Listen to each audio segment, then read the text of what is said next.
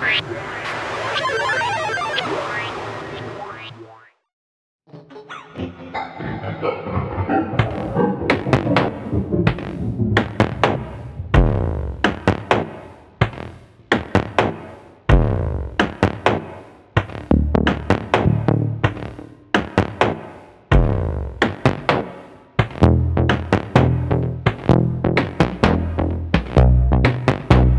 As improbable as it sounds, officials say they receive reports of parties where positive tests are celebrated.